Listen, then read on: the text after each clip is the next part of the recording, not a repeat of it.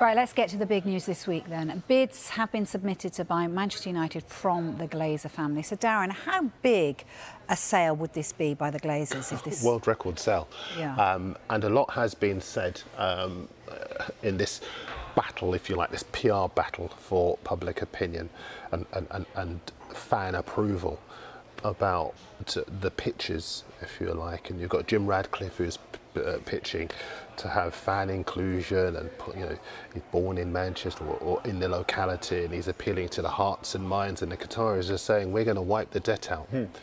and just uh, as a as a, my own point of view you know uh, and I said this in the tease before the show before the World Cup the Qataris were the enemy mm-hmm. now after the World Cup as they hover around Premier League clubs fans go weak at the knees, and then not all fans. Not all fans, and not all Some fans. fans and we were we were caveating that a bit yeah. earlier, a lot of fans mm-hmm. uh, are looking at the idea they could wipe debts out, they could buy big players. I know your paper's got a piece yeah. about them hovering around Spurs, uh, and I'll hand over to you, John, in a, in a second. But I, I do just want to show you a couple of papers that are covering this story. It's across all of the back pages, Sun back page, for all of the PR pitches. It's about who will show them the money. If you've seen Jerry Maguire, you'll know all about that. Um, And the subdeck there from Martin Lipton's piece in The Sun says it all. Glazers won't do a cut price deal. It's six billion pounds or they stay. That would represent, well, quite exactly. It would represent a huge um, uptick on what was the world record for an English club, which was 2.5 billion pounds paid for Chelsea. Mm. Um, and I want to show plus you plus a few add-ons. It has uh, to be plus said. a few add-ons as well. I'll just show you uh, Sam Wallace's piece in the Telegraph as well, uh, because there are too many quotable lines in this to mention. But I'm going to read you one paragraph. Says, if the World Cup finals are the equivalent of booking the planet's greatest act for a limited run, then acquiring United could be set to buying could be said to be buying the whole theme park in perpetuity. The club come with a catalogue of 150 years of history, a franchise of 467 million fans around the world, according to United's latest financial results whose loyalty for the most part can be relied upon. They say there are some things money can't buy. In football, it gets you about just about everything. Trophies, credibility and the gratitude of hundreds of thousands of fans you never have to meet. It's the ultimate in soft power um, strength. Uh, and, and, there is one other piece actually by Riath Al Samarrai. We'll come to know him. He's got a new column in the Mail on Sunday. He's a very, very talented writer, declaring interest. He's a friend. But, so, you he is, hi, he brilliant, but, but it's a terrific piece where he says, look, you've got people talking about sports washing as far as the Qataris are concerned, but you also have greenwashing yeah. that's been levelled at Jim Ratcliffe, mm-hmm. petrochemicals, etc., etc. And so you know, and, and obviously we don't know about the other potential bidders as well.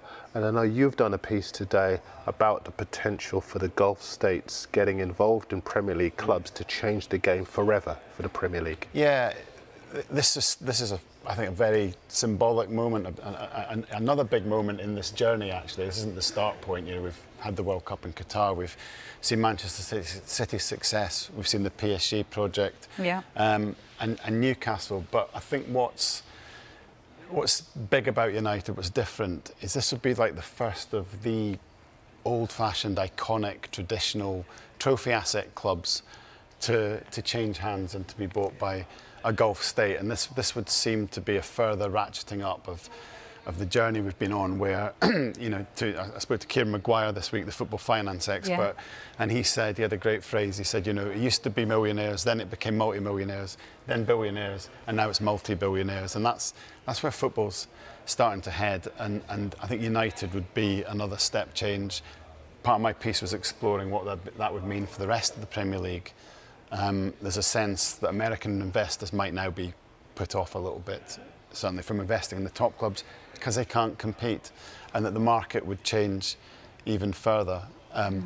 But I'm, it's really interesting you picked up on the comms aspect there, because that's one of the things that's fascinated me about this story. That you know we've, we've seen a few back pages there that are very much behind Jim Ratcliffe and, and what he could promise, but I don't think there's been the swell of sort of support for him that I would have expected, the bandwagon that he okay. might have suspected when he went out in front in November to declare his interest.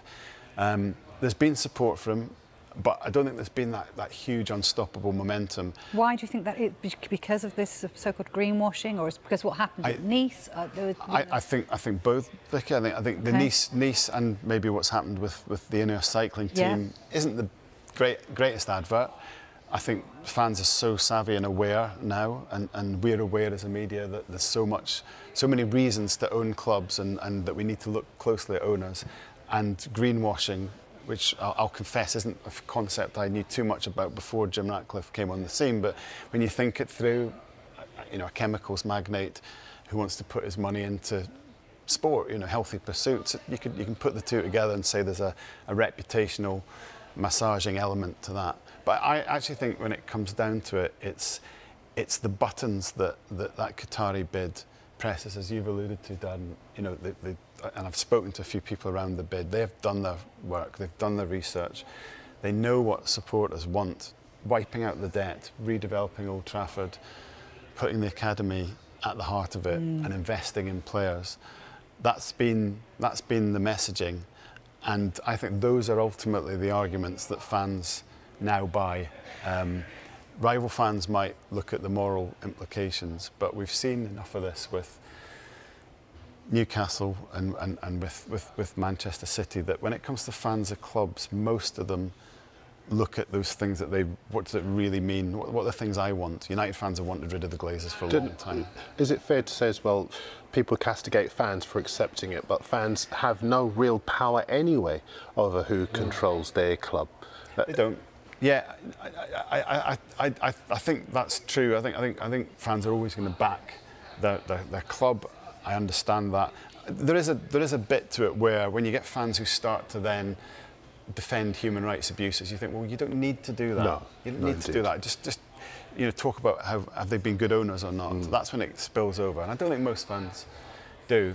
Um, but I haven't seen a huge, you know, monitoring social media over the last few days, looking at those United supporters groups, those influential United voices, and hasn't really been a debate about Qatar not, not the one that you'd have expected, mm. which seems suggests to me that they're taking a step back and thinking more about what this would mean for the club than any instinctive moral objections to it. OK, let's get more on this then, because we can get the thoughts of the Financial Times sports business reporter Samuel Agini. Good morning to you, Samuel. Good to speak Samuel. to you. Samuel. Look, just put it into perspective. How much are these bids worth? I think the, the the key point about this is not not what the initial bids are worth. The the stock right now implies that Manchester United's equity is worth 4.3 billion dollars. There's about 700 million dollars or so of debt on top of that. So that is implying that this deal is going to be worth somewhere north of five billion dollars. That would be a record for a, sports asset anywhere. Um, and whether whether the, the key thing here is whether the Glazers can get a proper auction going and and and send send this up even higher. If if competitive tension is introduced if they can get someone to go head to head against uh, the the Qatari bid it, it, could get very interesting and very very frothy. Samuel just give us a sense of the timeline around this. How long of a process will this be I think what, what I've been what I've been hearing is that it's it's key if there is a sale, if a sale goes ahead, uh, by by the summer certainly because any new owner wants that transfer window to uh, to really set set a mark. You you know if you're going to come in and put put a stamp on the club, you want to be ready uh, with a plan for the transfer window. So I'd I'd expect something like that, but again, I, I, we also all need to be. This is very different to the Chelsea situation, which was a private asset. This this is a public stock. So I actually think we all need to be more careful. This everyone around this is being more careful um, with uh, you know with United being a, a New York listed uh, stock. do you think this just comes down to money? Does the biggest bidder wins, or is there going to be more to the the process than that? I think there's more to the process, and I think what's really interesting is these uh, these official statements that have come out have really appealed to the fans, and we saw this with the Chelsea sale. We saw that uh, it, it, was seen that you know it was, it, it, was perceived to be by by the bidders in Chelsea that uh, winning over the fans was important. Uh, but there we had a very different situation. We had a seller who who who had to sell. There was a deadline. There were sanctions in place. With United, the Glazers do not have to sell, and appealing to the Glazers is going to be what ultimately convinces them whether or not to part with this asset.